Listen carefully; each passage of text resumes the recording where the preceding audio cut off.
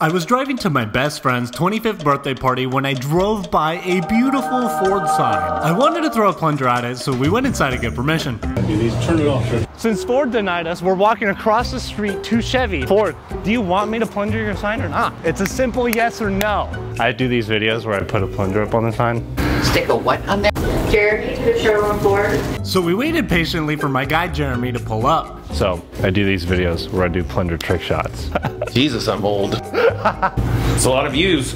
It's a lot of. All right, let's do it. So the employees came out to watch, but the major problem with the sign is that there's cars directly behind it and I don't want to smash. I normally don't miss because I'm built different, but when I do, it's bad. And I was trying to go as quickly as possible because I didn't want to be late to my friend's 25th birthday, but after three minutes, this happened. Oh, ah, yes!